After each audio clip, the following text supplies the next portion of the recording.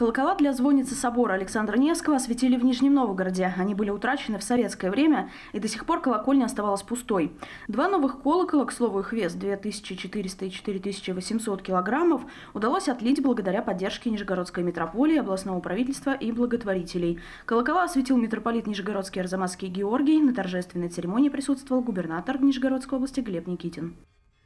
Это, по сути, э, такая завершающая точка в восстановлении этого храма, которое продолжалось э, многие годы усилиями э, митрополита Георгия и всей паствы при помощи благотворителей, попечителей, титров.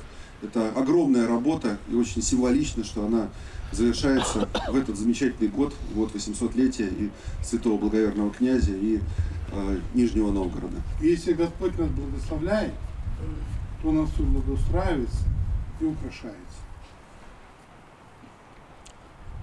Благодаря заботам многих людей, попечителей, и доброго отношения и заботы губернатора и правительства области, и этот храм, эта святыня сегодня облекает, обретает лучший вид.